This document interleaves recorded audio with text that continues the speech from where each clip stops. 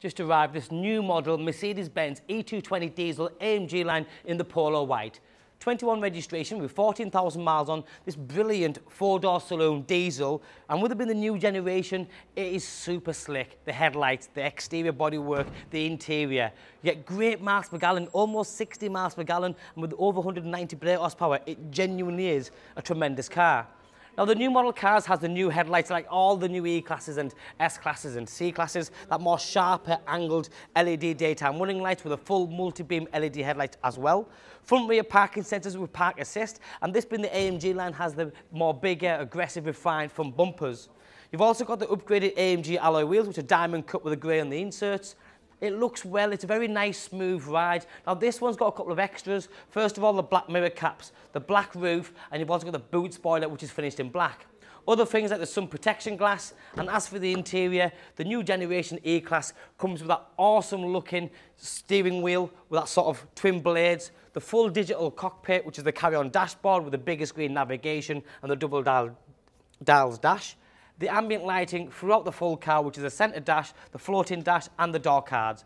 You've then got things like electric seats, heated seats, the illuminated entry kick plates that says Mercedes on them, and a fine wood ash grain interior inlays. It's a five-seater saloon, lots of space for your family and friends because the E-Class is a slightly bigger car. It's not your average saloon car, so there's a lot of space in there and you can quite comfortably and easily fit all five people in this car and they can travel for hours without feeling sort of squashed. Round the back, the first thing you'll notice is the newer style LED lighting system. Absolutely brilliant, very much refined. And then you also see on this one that you've got the tint on the rear light as well, giving it that sporty sector on it. Nice auto pop boot a very big boot space and the seats also go down 40 40 20 so you can have passengers sat on each side and this sort of the through loading system there means you can put them through the middle You've also got the AMG rear bumper with the twin exhaust fascias. The car's done 14,000 miles, still under manufacturer's warranty. There's no dents, there's no scratches, and the interior on the car is absolutely perfect. For example, the back of the seats, the door cards, the actual leather seat as well. Fully fitted AMG mat, and this car also has the third zone climate control, so the rear passengers can control their own heating system. Over here, this little triangle here, which flashes away, is a lane assist. So again, that's ideal.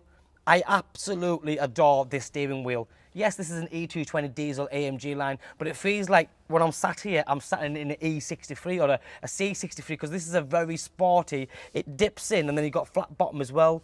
Everything is touch sensitive, that's the Bluetooth, that's a cruise control, onboard computer, paddle shift, the automatic gearbox, and when you put in reverse, the camera comes on, just like that.